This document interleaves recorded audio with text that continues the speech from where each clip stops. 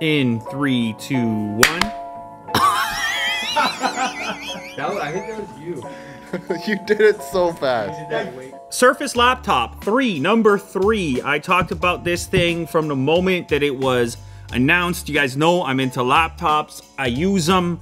I love them. I like them. Microsoft Windows connection, synergy, incredibly thin and light for what it is. This one is 3.4 pounds. It's also got a 3x2 display, which is unusual in the laptop segment. It's metallic. At this point, this looks very promising, and this could very well replace my ThinkPad relationship. Hmm.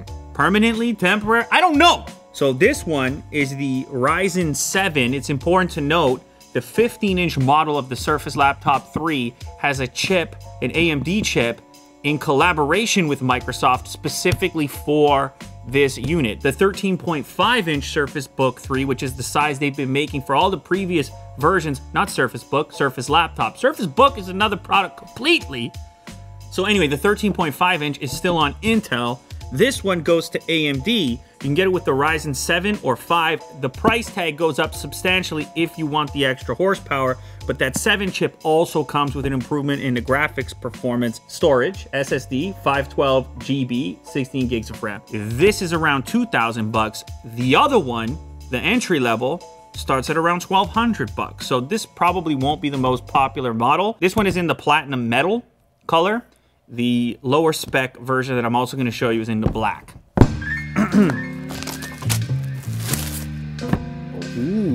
The Surface product line, it's a cool name. The idea that all of these things are just surfaces for whatever it is that you want to do on them. Crazy, impossibly thin, very thin. Uh, it's making a MacBook Pro look fat.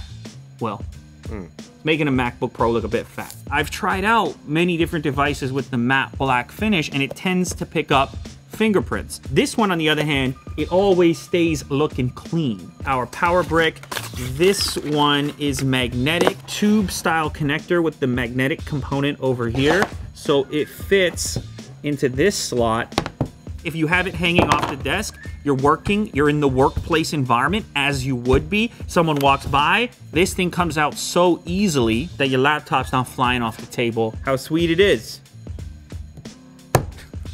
Yes. Extra USB port. So go ahead and charge your phone while you're at it. One power brick to rule them all. Ooh, okay. It's a nice flat gray to it. Jack, it's a nice flat gray. Large size trackpad, so simple, to the point. It's a slab.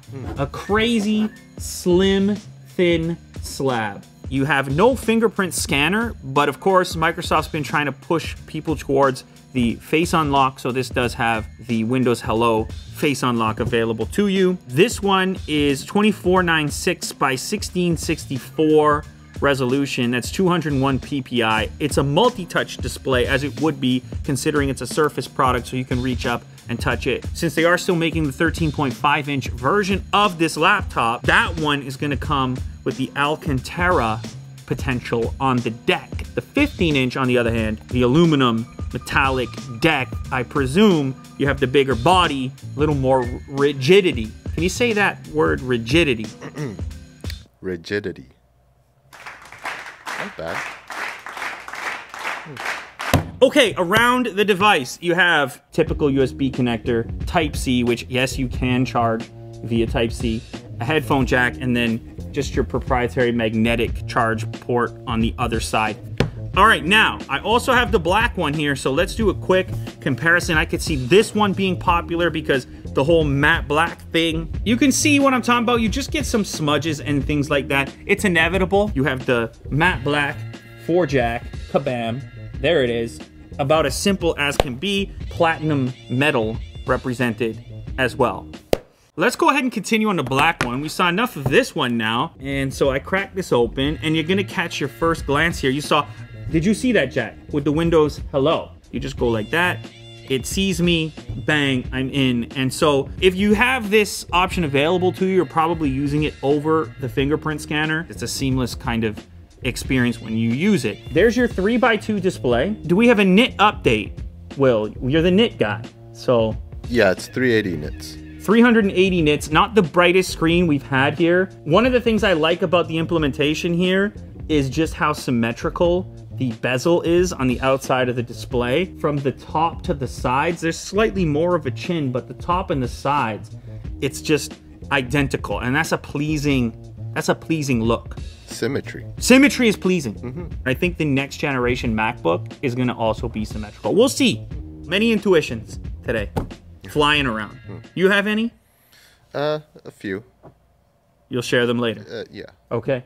When the moon is in retrograde and Virgo approaches Leo. Uh, whatever. Astronomy on the third Tuesday of the fourth moon.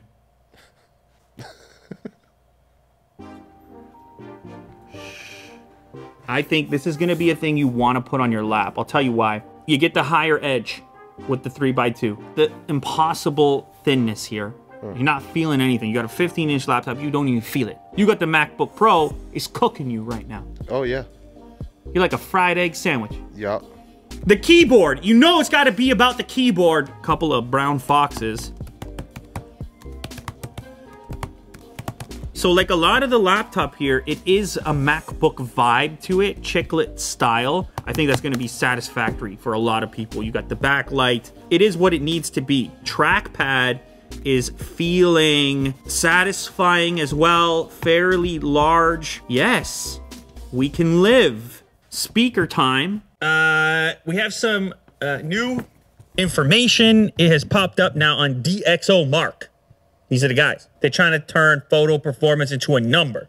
Well, they got their number now. They're sending the audio through the keyboard. This is a compromise. This is a decision. It's a design decision, and you can hear for yourself. Uh, 112 is what it scored. I would say it's it's actually surprising clarity considering where it's coming through. It's like I think people will be satisfied with that. I think it's in that satisfactory range. The screen resolution, it's not the most. The brightness, it's not the most. The keyboard, it's not the most travel. The speakers, it's not the loudest. You know, it's like a soup. On their own, you just got ingredients. That's all you got. Mm-hmm. A, a cut of beef that would be less desirable. I said, what are we gonna do with this beef? Yeah. you throw it in a stew. In the stew, you spice it a little. You come with the onions. Yeah. You come with the carrots. Together, greater than the sum of the parts. That's fine. This is a beautiful thing. I'm gonna use this laptop. And I'm gonna see if I miss the ThinkPad or if Microsoft is in it to win it. This episode is sponsored by Vessi. They make shoes with a proprietary knit upper material called Dymatex, which is the first technology of its kind. The outer layer is hydrophobic, causing the water to bead off.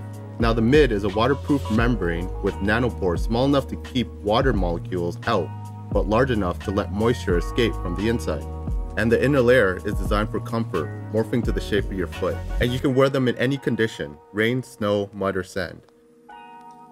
If you're interested in these shoes, check out the link down below.